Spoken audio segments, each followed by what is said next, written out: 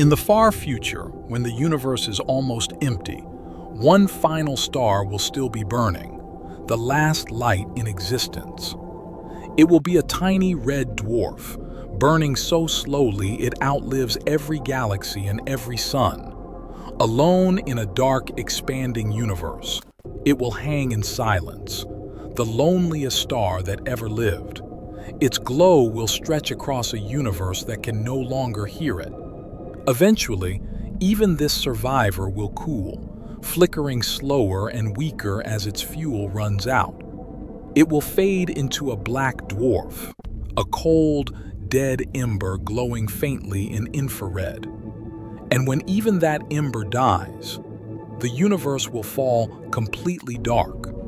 No stars, no light, just silence, forever.